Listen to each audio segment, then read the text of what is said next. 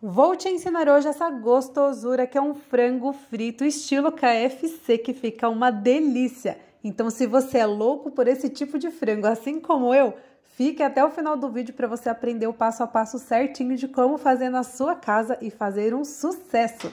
Eu sou a Michelle Marcelino, aproveita e me segue para ficar por dentro de todas as gostosuras. Vamos aprender? Vamos começar agora temperando o nosso filé de frango, tá? São 500 gramas de filé de frango, sal a gosto, pimenta do reino a gosto, uma colher de chá de lemon pepper, uma colher de chá de páprica picante e uma colher de chá de cebola em pó. E aí é só você colocar a mão na massa e misturar tudo muito bem. Depois, reserva e vamos preparar o creme.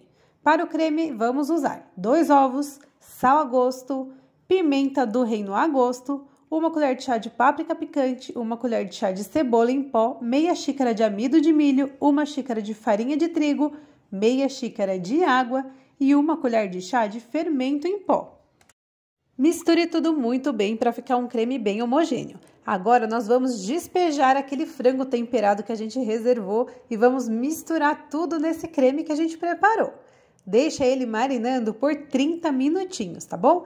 Depois desse tempo, você vai empanar ele na farinha de trigo e vai levar para fritar em óleo quente.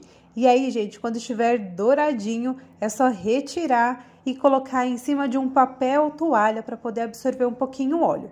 E aí é só você servir e se deliciar. Eu gosto demais desse frango com molho barbecue. E você gosta de comer esse frango como? Puro, no lanche, gosta de molho? Coloca aí para mim nos comentários. Até a próxima gostosura. Tchau, tchau!